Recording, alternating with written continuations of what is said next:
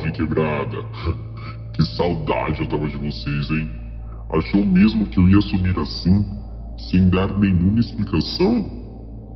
É porque eu precisava tirar uns dias de férias, dar uma geral na casa, mudar meus móveis, criar um hit.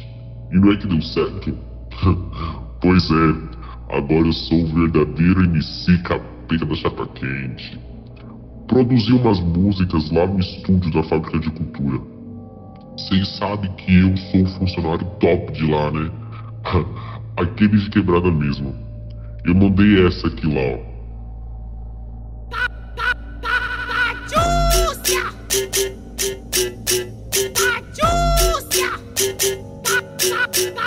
Chegando na fábrica sem nada pra fazer. Fiquei esperando minha amiga aparecer.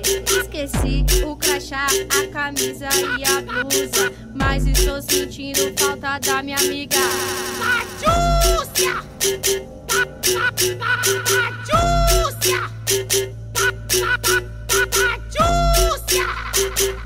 Chegando na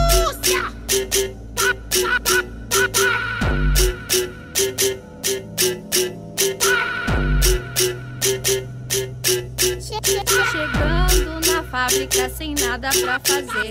Fiquei esperando minha amiga aparecer. Esqueci o crachá, a camisa e a blusa. Mas estou sentindo falta da minha amiga. Patrícia! Patrícia!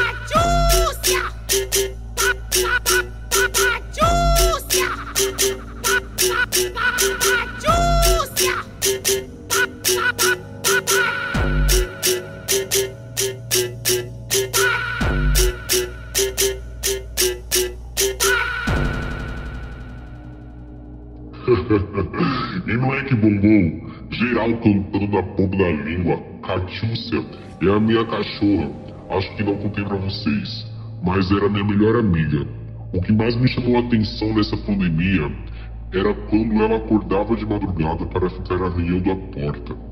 Até que um dia eu acordei de madrugada e joguei um travesseiro nela para ela parar, mas ela não parou.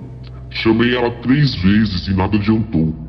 O mais sinistro foi eu ter ouvido o latido dela, que estava a todo momento do meu lado.